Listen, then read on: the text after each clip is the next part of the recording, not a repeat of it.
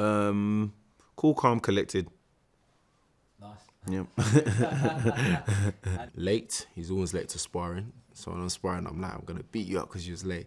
So he's always late. Um, he's always bubbly as well. I never seen Dan when he's really down. So I say late, bubbly, and um, he's a hard worker. He works hard, man. I respect him for that.